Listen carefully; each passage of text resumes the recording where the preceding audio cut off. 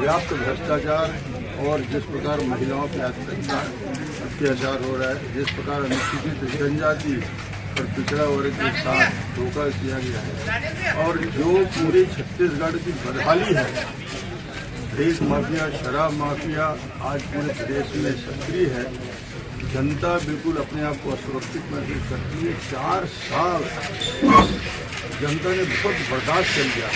ये चुनाव जो ब्रह्मानंद नेताम का हो रहा है, वो सरकार बनाने बिगाड़ने के लिए हो रहा है।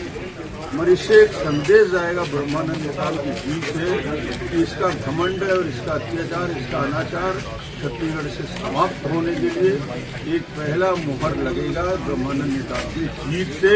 और जीत शत प्रतिशत सुनिश्चित है, मैं सर राजनांदगांव में सीएम ने बयान दिया। मुझे तो एक किस्सा याद आता है।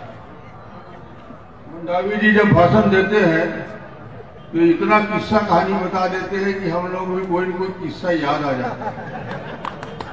तो मोहन मंडावी जितना बता रहे थे तो उसी में से एक किस्सा मेरे को याद आया, जो भूपेश बघेल के लिए शत प्रतिशत सही है। वो किस्सा है, एक साधु के पास एक चूहिया थी, मुसवा।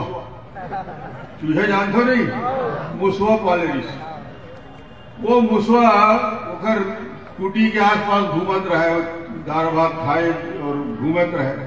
वो कुटिया के बाहर जाने लगी, जब मुसवा तो बिलई और हपके और दौड़ी। फिर वो मुसवा बिलई आते, महाराज मैं किसे बोला बिलई बना दे महाराज तो बोला, गंगा जल छिड़क के थे बिलई बन जा।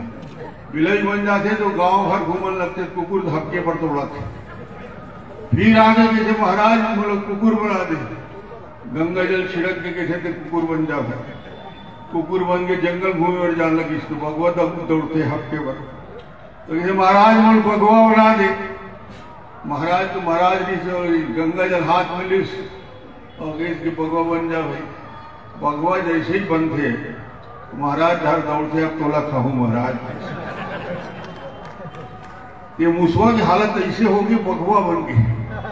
पूरा छत्तीसगढ़ लूट थे, पूरा छत्तीसगढ़ लूट थे, और तुम्ही लहपत तुहरे वोट नहीं से जिन कमंडल में जल छिड़क के बोला, मुसवाले भगवा बना दो अब चुनाव आने वाला है पाँच तारीख के, हाथ में गंगा जल लेके, बटन ल कमल के बटन ल दबाओ और बोलो पुनः मुस्का भरो, ये भगवान फिर मुसवा बन गई। पक्की बात है। ताले बजा के दोनों हाथ समर्थन करिए।